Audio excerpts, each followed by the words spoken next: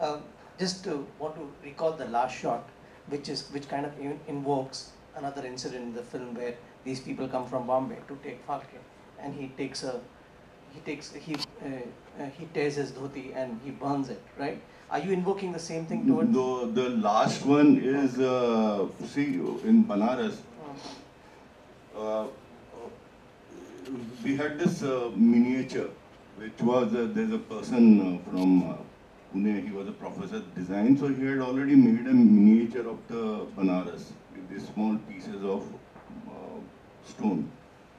So, and all these uh, students from the Srishti, they were also concocting or representing the childhood memories of the children. So I also got excited. So this image about that uh, he declares, announces the children dead and uh, he tears his dhoti and burns it and makes a circle of the ashes around his children and say, you are dead for me. So I, I, I, this image always haunted me, you know, when I was doing a fiction, I mean, writing a script, I said, this is the key image in Banaras for me, you know, like the, it is the height of the emotional, uh, you know, like, like Raja, Raja Harishchandra's extreme emotional outburst. So I also took, a stone uh, kind of a piece, so I, one stone bar and two circular pieces that represent the Phalke's face. Then I made a chita where the Mahadev is uh, lying. Then you have these five small temples. They are, represent his five children. And then uh, he tears a dhoti. So it's like a ritual image representing that event that must have happened. You know.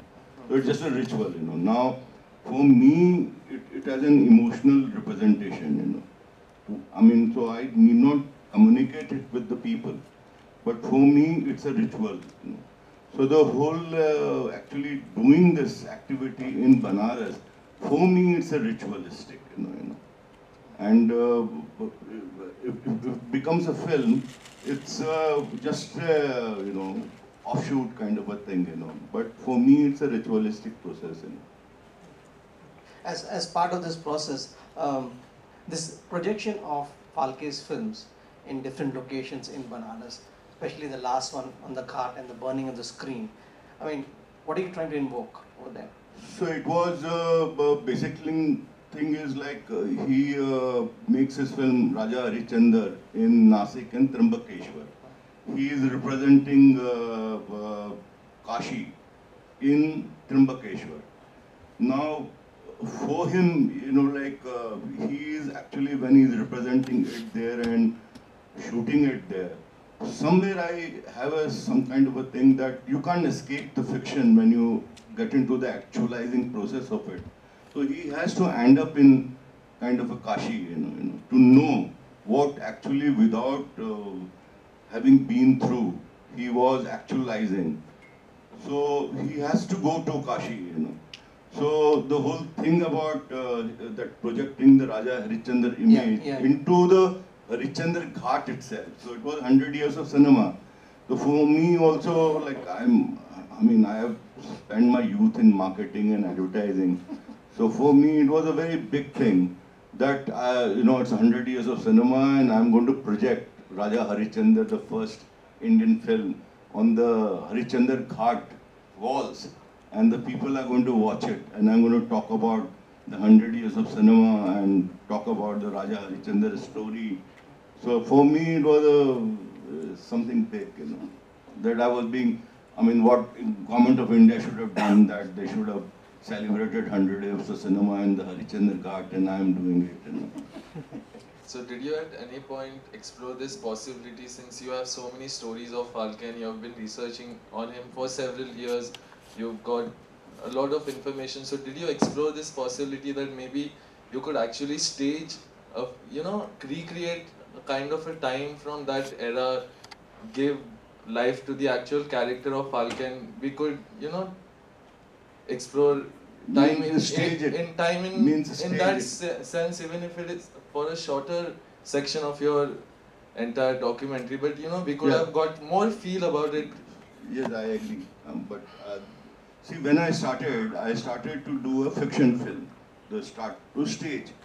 mean the actors in contemporary times representing this so-called Phalke in past.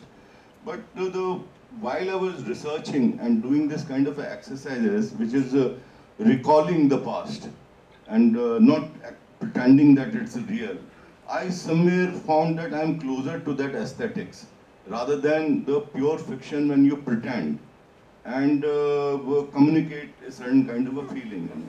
That school of staging, somewhere, you know, I, uh, I mean, even when I did Om Dar-B-Dar, I was not from that school. You know.